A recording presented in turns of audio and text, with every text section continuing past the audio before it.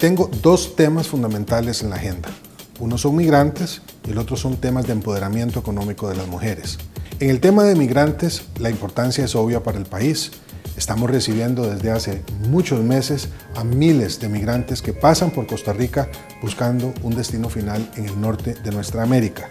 Es necesario coordinar los esfuerzos de este fenómeno que en Costa Rica, tanto como en otras partes del mundo, no lo generamos los países que estamos en la ruta de tránsito, sino los que originan esos flujos de migrantes y en los temas de empoderamiento económico de las mujeres, porque esta es una agenda en donde Costa Rica tiene mucho que decir.